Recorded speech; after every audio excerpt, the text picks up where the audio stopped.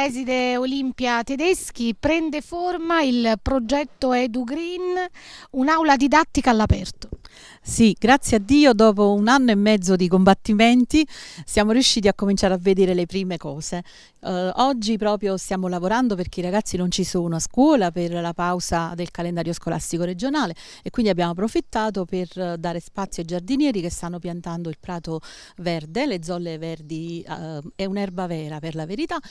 le piante qui a cespuglio lungo la ringhiera, pianteremo anche un piccolo agrumeto e poi stiamo completando il gazebo che era già stato realizzato con i fondi comunali. Poi questo lavoro sarà fatto anche in un'altra aiuola interna della scuola dove realizzeremo un angolo didattico all'aperto per, con una piccola stazione meteorologica e le serre per la germinazione, in modo che i ragazzi avranno l'opportunità di comprendere tutto il percorso che il seme fa sotto la terra, comprendere l'acidità del terreno, l'importanza dell'acqua per innaffiarlo, del sole, della temperatura e coltivarlo e poi avere anche i frutti, raccogliere i frutti. Quindi questi spazi a 360 gradi come saranno utilizzati?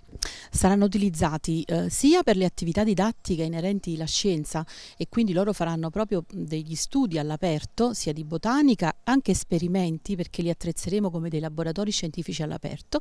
ma anche come luoghi di svago dove i ragazzi si possono ritrovare per fare merenda, per discutere di qualche argomento, insomma si devono appropriare anche di questi spazi che prima erano un po' morti e soprattutto poco verdi. Eh, nel nostro Potofo noi abbiamo dato grande spazio all'educazione ambientale ecosostenibile alla luce anche delle indicazioni europee, l'Agenda 2030. Quindi queste attività sia negli orari curriculari che extracurriculari? Sì, in prevalenza in orario curricolare, però ci sono anche i momenti di attività extracurricolari e degli angoli verdi li stiamo realizzando e li realizzeremo nei prossimi giorni anche nel plesso Montessori, dove c'è meno spazio all'aperto, ma stiamo pensando ad uno spazio, ad un piccolo orto, sia a Giovanni Paolo, dove sfrutteremo l'aiuola interna per realizzare quest'angolo verde con dei cassettoni, delle piante aromatiche, in modo che anche lì i bambini hanno questo contatto contatto diretto con la natura. Sono temi quelli dell'educazione ambientale che la scuola porta avanti già da tempo, esiste infatti già un piccolo orto e con l'aiuto dell'associazione Torre Vesuvio Pro Natura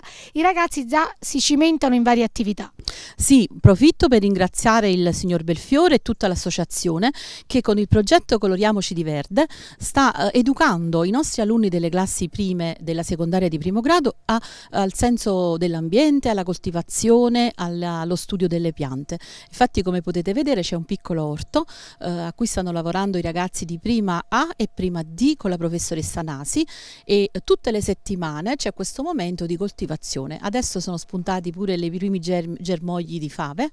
e quindi a breve avremo anche un raccolto. Quindi i ragazzi si entusiasmano per queste attività? Sì, i ragazzi lo fanno veramente con tanto piacere, con tanto entusiasmo e si rasserenano molto a contatto con la natura e questo ci fa molto piacere.